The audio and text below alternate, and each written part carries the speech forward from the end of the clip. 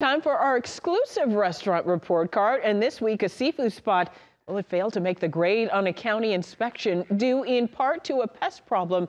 But first, our Adam Murphy takes you to a new restaurant in Atlanta's Beltline serving up Southern fare and a perfect health score.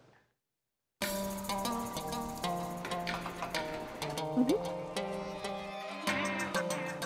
Guys, I've landed on one of the best Southern inspired menus in all of Atlanta. We're at One Flew South along the Beltline just down from the Krog Street Tunnel. They've been here for a little over a year. It's their newest location. They're famous for the one at the Atlanta Airport and Concourse E. They have James Beard nominated chefs, nothing but quality coming out of the kitchen, and you can enjoy the ambiance inside. They'll prepare sushi right before your eyes, and what a view you got of the Beltline.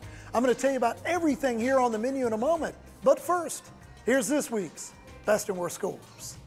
We had tough questions for the manager of this Fulton County restaurant, which failed two inspections in a row.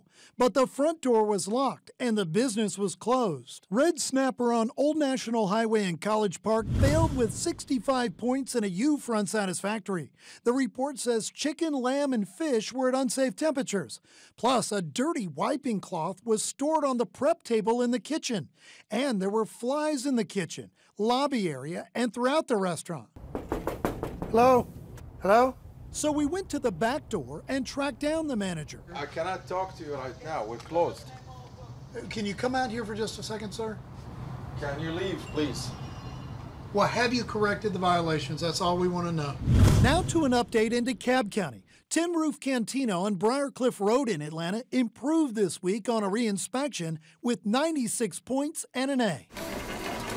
And back here at One Flew South on the Beltline, just down from the Krog Street Tunnel, they earned a 100 on their last health inspection. Make that two in a row. Congratulations, they are the winner of this week's Golden Spatula Award. Let's talk some food, shall we? You can start out with a forbidden rice pudding.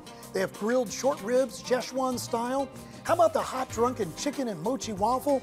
And look at the sushi. They have the dragon roll, kamikaze roll, and so much more. But you know what? If you're in the South, it's all about the chicken and waffles, right? We'll see you guys next week. I'm to give this a try. Boy, that's good.